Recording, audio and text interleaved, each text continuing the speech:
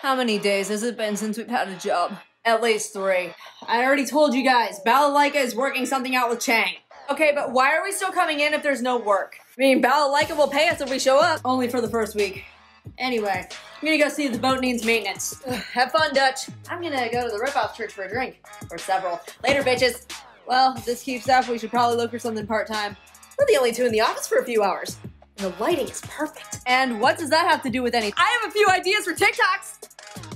I'm not doing another thirst trap. Oh, have you seen your back? Six feet tall and super strong is gonna go viral for you. Well, the only way you're gonna get me to do it is if you rip the shirt off my back.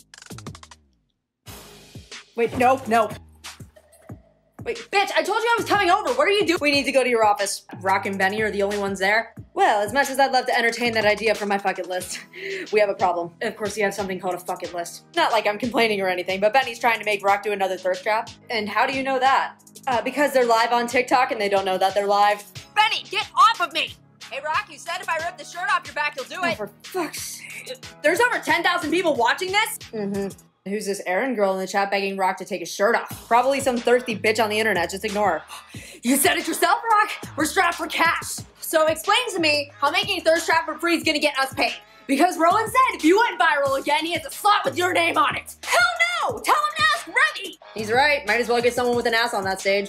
Somebody's modest. I mean, Rock spot is a board. That's not gonna sell. Huh, letting your eyes wander a bit there, huh, Revy? His back is facing the ca- uh.